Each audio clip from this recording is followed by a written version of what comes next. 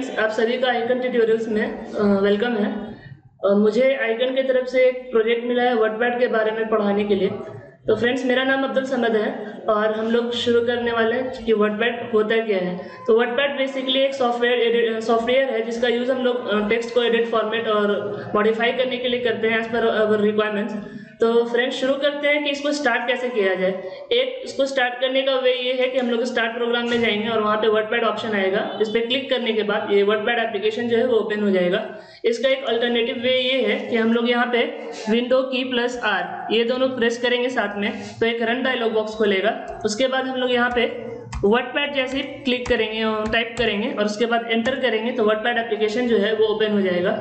अब फ्रेंड्स यहाँ पे हम जैसे कोई टेक्स्ट इनपुट किए, जैसे कि आइकन इंस्टीट्यूट अब हम लोगों को इसको इस टेक्स्ट को बोल्ड करना है, इसका फॉन्ट चेंज करना है तो सबसे पहले हम लोग क्या करेंगे, इसको राइट क्लिक कर करके सिलेक्ट कर लेंगे, और उसके बाद यहाँ पे ये बोल्ड पे प्रेस करेंगे तो ये जो फॉन्ट है वो बोल्ड में हो जाएगा। और वही अगर हम लोगों को इसको इटैलिक करना है तो हम लोग सिंपली उसको टैलिक पे प्रेस करेंगे तो ये इटैलिक हो जाएगा। और उसको अगर चाहते हैं कि ये अंडरलाइन हो जाए तो इसको हम लोग अंडर अंडरलाइन पे क्लिक करेंगे तो ये जो टेक्स्ट है वो अंडरलाइन हो जाएगा। और अब जैसे कि यहाँ पे एक ऑप्शन आता है सब्सक्रिप्ट और सुपरस्क्रिप्ट का, जैसे कि यहाँ पे हम लोग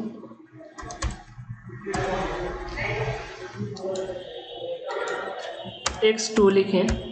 तो ये तो नॉर्मली एक्स और टू जो दोनों है, एक सेम लेवल पे है। और हम लोगों को अगर इसका फॉर्मूला बनाना है तो क्या करेंगे कि यहाँ पे एक ऑप्शन है सबस्क्रिप्ट और सुपरस्क्रिप्ट का।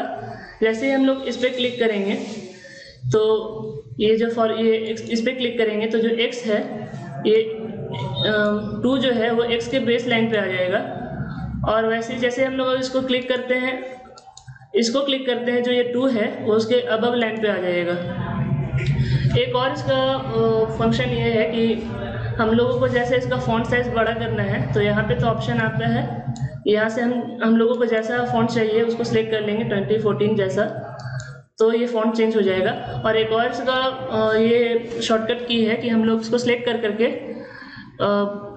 एल्ट शिफ्ट और ग्रेटर दैन ये तीनों एक साथ प्रेस करेंगे तो इसका साइज़ जो है वो इंक्रीज हो जाएगा। और वही अगर लेस देन प्रेस करेंगे तो इसका साइज़ जो है वो डिक्रीज हो जाएगा।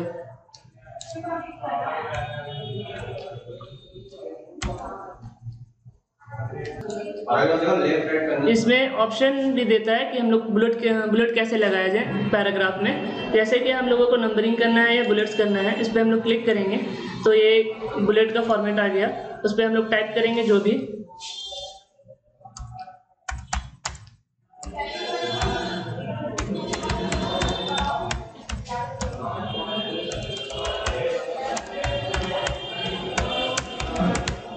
अब जैसे एंटर करेंगे तो ये जो बुलेट है, वो एक और नीचे भी, नीचे में भी बन जाएगा।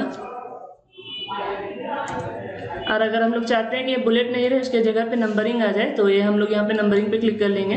तो अब वन टू जैसे ही हम लोग एंटर करेंगे तो ये वन टू ऐसे ऐसे आने लगेगा। और वही अगर हम चाहते हैं कि अल्फ़ाबेट आ जाए तो उसके लिए हम लोग simply A B C A B C पे क्लिक करेंगे तो एक अल्फ़ाबेट का फॉर्मेट बन जाएगा पॉइंट की जगह पे। अगर आप लोगों को इस नेक्स्ट पार्ट देखना है तो इस चैनल को लाइक और सब्सक्राइब करें। और अगर आप लोगों को मेरी टीचिंग पसंद आई हो तो इसलिए इस वीडियो